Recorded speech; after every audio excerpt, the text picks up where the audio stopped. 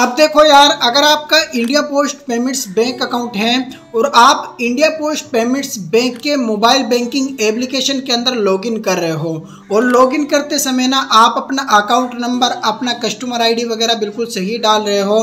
फिर भी अगर आपके सामने इंटर वैलिड डिटेल्स की प्रॉब्लम आती है तो यहाँ पे बड़ा गुस्सा आता है और समझ में नहीं आता कि हम अपना अकाउंट नंबर, कस्टमर आईडी वगैरह सही डाल रहे हैं, फिर भी हमें इंटर वैलिड डिटेल्स की प्रॉब्लम आ रही क्यों है?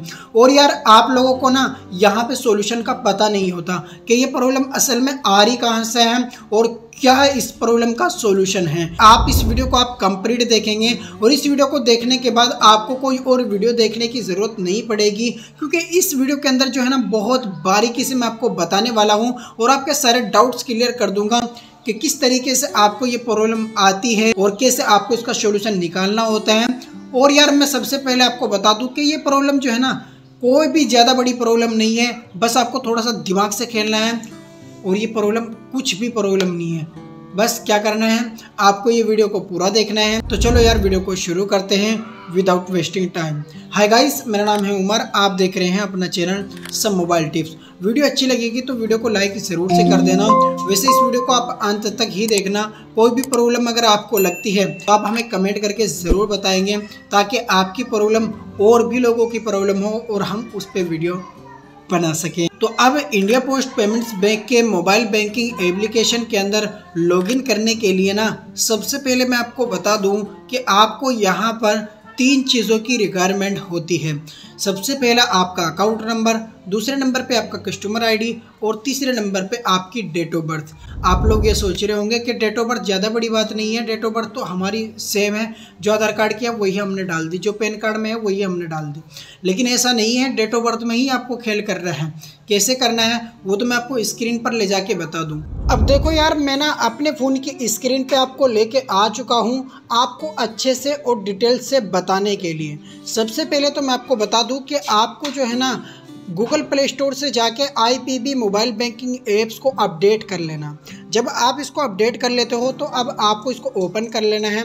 ओपन करने के बाद अब आपसे परमिशन मांगी जाती है। फाइल्स की तो यहाँ से परमिशन कर दो, अलाउ कर दो। ठीक है ना? यहाँ पर आ जाने के बाद दोबारा से आपको लोकेशन की परमिशन मांगी जाती है। यहाँ से अलाउ कर दो। तो यहाँ पर लॉगिन नाउ का ऑप्शन मिल रहा। यहाँ पर पहले मिलता था लॉगिन नाउ और नीचे अकाउंट ओपन अब अकाउंट ओपन जो है ना, आप ऑनलाइन नहीं कर सकते। आपको ऑफलाइन ही खुलवाना पड़ेगा। इसके ऊपर मैंने कंप्लीट वीडियो बना रखे है, कैसे आपको अकाउंट ओपन खुलवाना है, उसका लिंक डिस्क्रिप्शन में मिल जाएगा। तो यहाँ पर लॉगिन नाउ का जो ऑप्शन आपको मिल रहा, इस वाले ऑप्शन पे क्लिक कर दो। इस वाले ऑप्शन पे आप जैसे आप यहाँ पे क्लिक करोगे तो अब आपको यहाँ पर account number customer ID date of birth और नीचे मोबाइल नंबर आपको अपना अकाउंट नंबर जो है ना या तो कस्टमर केयर से पता कर लेना है, या फिर आपके पास अगर कहीं से नोट में लिखा लिखा रखा है तो उसको ही आपको ट्राई करना है। आपका अकाउंट नंबर जो रहेगा वो बारह डिजिट का रहेगा एंड आपका जो कस्टमर आईडी रहेगा वो दस डिजिट का रहेगा। तो यहाँ पर आपको अच्छे से लगा लेना उसके बाद आपको यहाँ पर date of birth date of birth में ही आपको थोड़ा सा खेल करना है, जिससे कि आपको इंटर वैलिड डिटेल्स की प्रॉब्लम नहीं आ सके। तो यहाँ पर मैं आपको जिस तरीके से लगा के दिखाऊँगा ना, इस तरीके से अगर आप लगा लोगे, कभी भी फ्यूचर में आपको इंटर वैली डिटेल्स की प्रॉब्लम नहीं आएगी। ये मैं 100 परसेंट गारंटी के साथ बोलता हूँ। कैसे करना है? चलो मैं आपको बता देता हूँ। यहाँ पर सबसे पहले मैं अपना अकाउंट नंबर लगा लेता हूँ। अब देखो मैं यहाँ पर जो है ना अपना अकाउंट नंबर लगा चुका एंड अपना कस्टमर आईडी लगा चुका। यहाँ पर आप पढ़ भी सकते हो, यहाँ पर आप देख भी सकते हो।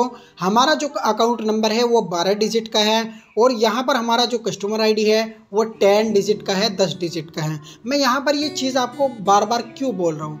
क्योंकि यार इंडिया पोस्ट पेमेंट्स बैंक का जो एक सेविंग अकाउंट खोलता है, जिसके अंदर आप एफ़ वगैरह भी कर सकते हैं, वो सुकन्या वाला अकाउंट तो उसके अंदर भी आपको सिर्फ़ आई मिलता है तो वो नो डिजिट का रहता है। बहुत सारे दोस्त उसी को लगा के यहाँ पे ट्राई करते हैं, लेकिन उसके लिए अलग से ऐप होते हैं। अगर आप लोग ज़्यादा कमेंट करोगे ना तो मैं उसके ऊपर प्रॉपर वीडियो बनाऊँगा। तो यहाँ पर मैंने आपको दिखा दिया, बारह डिजिट का मेरा अकाउंट नंबर है कस्टमर आईडी है, जो वो टेन डिजिट की है। अब यहाँ पर डेट ऑफ़ बर्थ में जैसे मैंने आपको बोला था कि खेल करना है। क्या खेल करना है? यहाँ पर देखो आपको कैलकुलेटर का ऑप्शन मिल रहा है। इस वाले कैलकुलेटर वाले ऑप्शन पर क्लिक कर दो अब सबसे पहले आपको यहाँ पर जैसे आपकी डेट ऑफ़ बर्थ है, एक एक दो हज़ार दो। ध्यान से सुनिएगा। जैसे कि आपकी डेट ऑफ़ बर्थ है, एक एक 2002 तो सबसे पहले आपको 2002 लगा लेना है, उसके बाद एक सेलेक्ट कर लेना है, एक जनवरी सेलेक्ट कर लेना है। कैसे करना है? यहाँ पर देखो 2023 लिख रहा है, इस पर क्लिक कर दें। सारे यार यहाँ पे आगे थोड़ा बैक करो। यहाँ पर देखो 2013 12 इस तरीके से पीछे जाओगे तो यहाँ से इस तरीके से मिल जाएगा। जैसे कि हमारी डेट ऑफ़ बर्थ है एक एक 2004 तो यहाँ पर देखो 2004 आ गया, हमने चार पे क्लिक कर दिया, कोई दिक्कत नहीं। अब यहाँ पर देखो, अगस्त का महीना ये चल रहा है अभी जो है ना अगस्त का 21 तारीख हो रखा है। यहाँ पर अगस्त वाला तो आ चुका तो यहाँ पर थोड़ा सा बेक करते जाओ बेक करते जाओ। यहाँ पर आपको लेके जाना है इसको जनवरी में।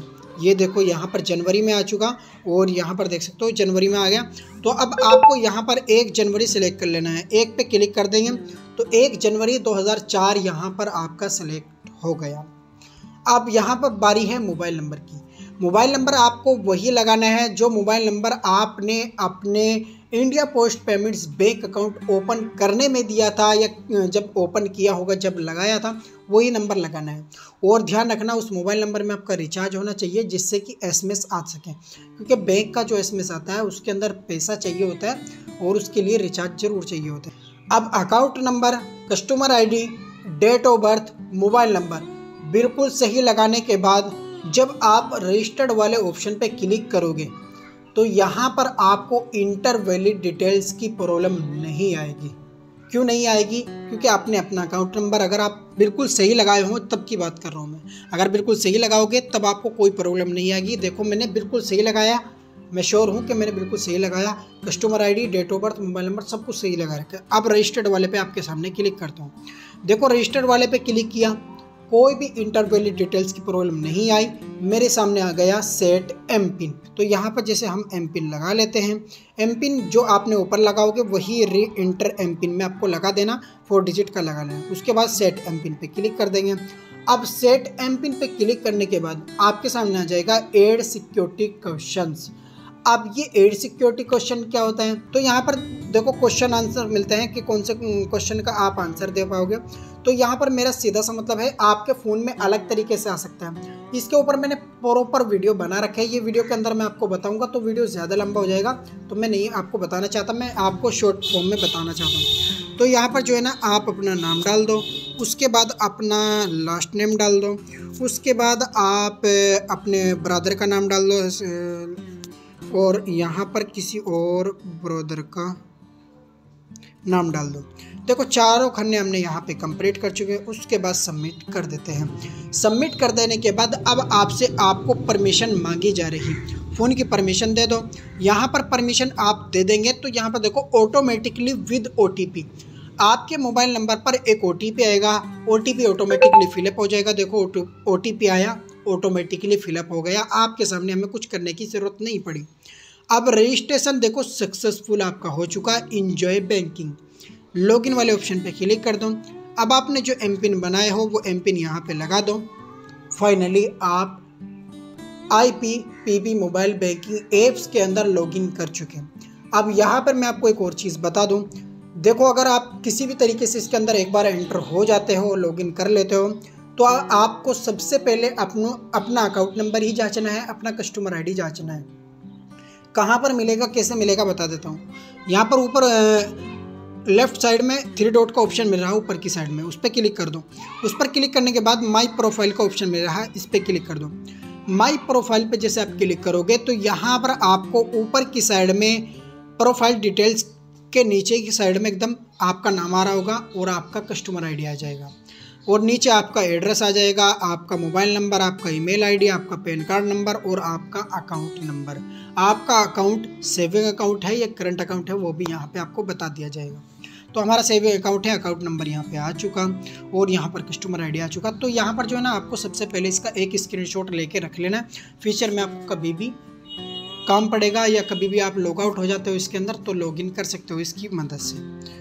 तो उम्मीद करता हूँ कि ये वीडियो देखने के बाद ना आपके सारे डाउट्स क्लियर हो गए होंगे। उम्मीद करता हूँ कि आपको ये वीडियो पसंद आई होगी। वीडियो पसंद आई हो तो वीडियो को लाइक ज़रूर से करना।